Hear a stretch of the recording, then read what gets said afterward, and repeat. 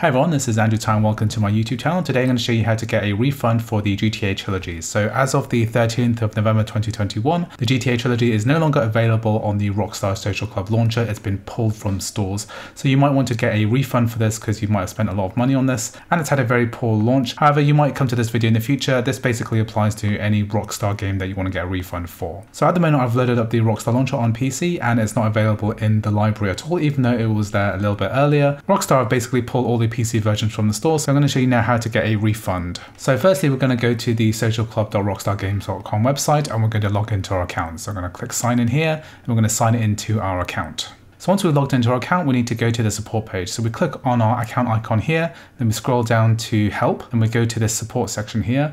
I'm to leave a link in the description. Once you've logged in, you can just click on the link to get to this page. So when we get to this general support page, we won't be able to select the GTA Trilogy because according to this notice here, it's basically been removed from the store until they get it ready again. So what we're to do is to go to this page and we're to click this black bar, which expands the number of items that we can see. And basically we're to scroll all the way down to the bottom of this page. We're going to get to the Rockstar Store section here. I want to click on this. Then we're going to click on this purchase activation section here. And then we've got this option here to set a refund. So I'm going to click on refund here. Then we're going to click on contact us button here. Now what we're going to do is to basically enter your details. So you need to enter your email address, the purchase date of the game, the order number and the description.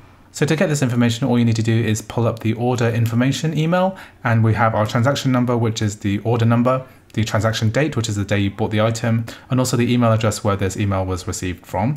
And then we just copy and paste it into this form. Once, so once you're done, all you need to do is click submit web ticket, and then this will go into the customer service queue and you'll receive your refund in some time once the customer service has dealt with your issue. So anyway, I hope you found this video useful. If you did, please like and subscribe, and I'll see you in the next video.